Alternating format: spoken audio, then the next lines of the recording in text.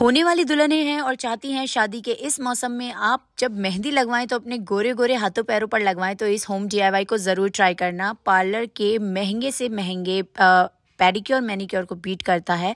आसानी से in just one time ये पैक आपको सारी गुडनेस देता है। किसी चीज़ की ज़रूरत नहीं, बस अपने हाथों पैरों पर लगाइए वॉश कीजिए और आपको इंस्टेंट रिज़ल्ट मिलते हैं। ना ही मैल गंदगी टिकती है और आपके हाथ पैर एकदम इंस्टेंट ब्राइटन अप लगते हैं।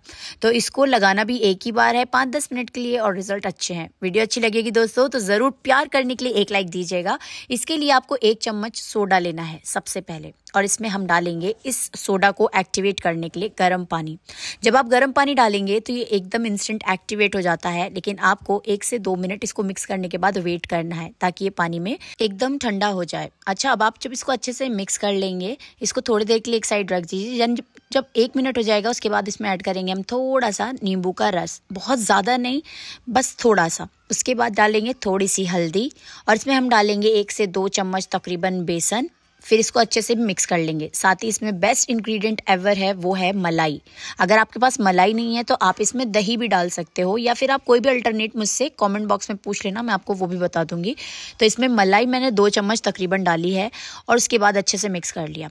ना कि ये पैक गंदगी, मैल, आपकी डर्ट पोल्यूशन ये सब चीज़ों को इंस्टेंट रिमूव करता है विदाउट किसी भी मैनिक्योर या पेडिक्योर बल्कि साथ ही साथ इसमें है गुडनेस आपके हाथों पैरों को मॉइस्चराइज करने की एंटी रिंकल्स पावर यानी कि जो मलाई है, वो आपके हाथों को इतना मॉइस्चराइज कर देती है कि इसको रिमूव करने के बाद आपको किसी मॉइस्चराइजर की भी ज़रूरत नहीं।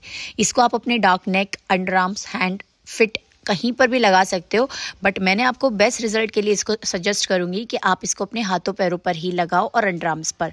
ये बहुत इंस्टेंट रिज़ल्ट देता है, यानी कि आपको एक ही बार में फिफ्टी टू सिक्सटी परसेंट एकदम इंस्टेंट रिज़ल्ट नज़र आएँगे। बस इसको लगाइए। एटलीस्ट टेन मिनट के लिए वेट कीजिए, ज़्यादा लंबा वेट नहीं करना है एंड देन डायरेक्टली वॉश कर लीजिए एंड सीधा मैजिक बहुत बेहतरीन रिज़ल्ट आते हैं। इसके बाद जब आप किसी फ़ंक्शन में जाने से पहले मेहंदी वगैरह लगवाएँगे ना तो आपके हाथ पैर बहुत ही सॉफ्ट ब्राइट बहुत ही ब्यूटीफुल नज़र आते हैं। तो इसको एक बार ज़रूर ट्राई करना। उसके बाद नॉर्मल वाटर से वॉश कर ले। एंड येस इसको वॉश करने के बाद वैसे तो किसी मॉइस्चराइजर की ज़रूरत नहीं बट अगर आप लगाना चाहते हैं तो हमेशा हमेशा कोकोनट ऑयल लगाया करें। वो एक बेहतरीन मॉइस्चराइज़र है, आपके घर पर रखा हुआ। और इसके रिज़ल्ट सी मैंने जिस साइड लगाया है, वहाँ बहुत अच्छा एकदम स्किन ब्राइट हो गई है।